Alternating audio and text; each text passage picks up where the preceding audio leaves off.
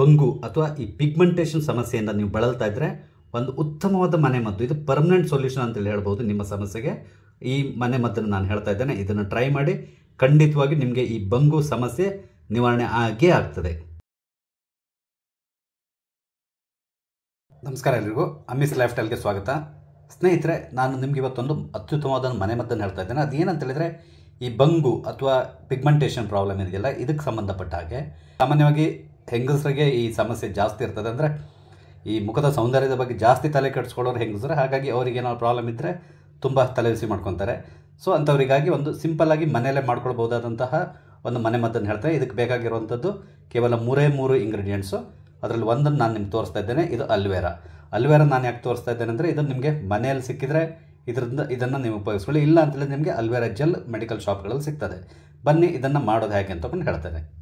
ಮೊದಲಿಗೆ ನೀವು ಈ ಅಲ್ವೇರ್ ಇರ್ತದಲ್ಲ, ಇದರ ಸಿಪ್ಪೆಯನ್ನು ತೆಗೆದು ಇದರಲ್ಲಿರುವಂತಹ ಜೆಲ್ಲನ್ನು ತೆಗೆದು ನೀವು ಒಂದು ಸ್ವಲ್ಪ ಜೆಲ್ಲನ್ನು ರೆಡಿ ಮಾಡ್ಕೊಳ್ಬೇಕು.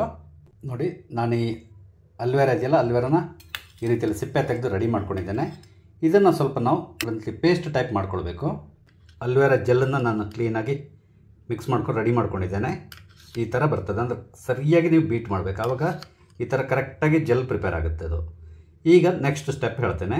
ಈಗ ನೀವು ಒಂದು ಬೌಲ್ ತೊಗೊಂಡು ಅದಕ್ಕೆ ಈ ಅಲ್ವೆರ ಜೆಲ್ಲು ಒಂದು ಸ್ಪೂನಷ್ಟು ಹಾಕ್ಕೊಳ್ಳಿ. ನಿಮ್ಗೆ ಜಾಸ್ತಿ ಬೇಕಾದ್ರೆ ಜಾಸ್ತಿ ಹಾಕ್ಕೋಬೋದು. ನಾನು ಒಂದು ಸ್ಪೂನ್ ಮಾತ್ರ ಹಾಕ್ಕೊಳ್ತಾ ಇದ್ದೇನೆ.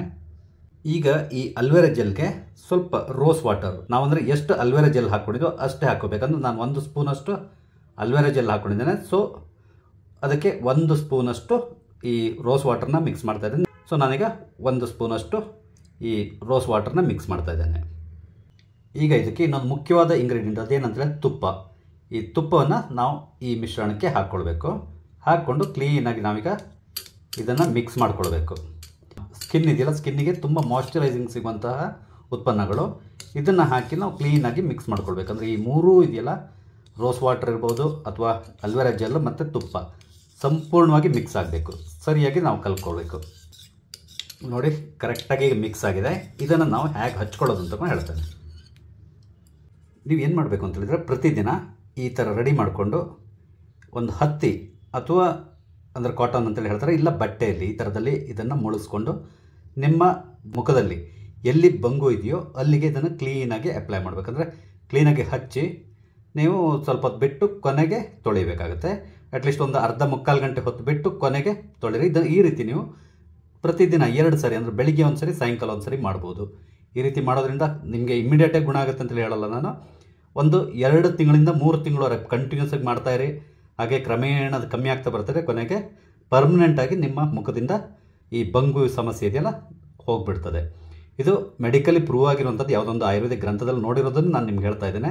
ಇದನ್ನು ಉಪಯೋಗಿಸಿ ನೋಡಿ ನಿಮಗೆ ರಿಸಲ್ಟ್ ಸಿಕ್ಕೇ ಸಿಗ್ತದೆ. ನಿಮಗೆ ನನ್ನ ಈ ವಿಡಿಯೋ ಇಷ್ಟ ಆಗಿದ್ದಲ್ಲಿ ದಯವಿಟ್ಟು ಲೈಕ್ ಮಾಡಿ ಶೇರ್ ಮಾಡಿ. ಹಾಗೆ ಇಲ್ಲಿವರೆಗೆ ನೀವು ನನ್ನ ಚಾನಲ್ ಸಬ್ಸ್ಕ್ರೈಬ್ ಮಾಡಿಲ್ಲ ಅಂದರೆ ದಯವಿಟ್ಟು ಸಬ್ಸ್ಕ್ರೈಬ್ ಮಾಡಿ. ನಾನು ಹಾಕುವಂಥ ಎಲ್ಲ ವೀಡಿಯೋಗಳನ್ನು ನೋಡಿ ನನಗೆ ಸಪೋರ್ಟ್ ಮಾಡಿ. Thank you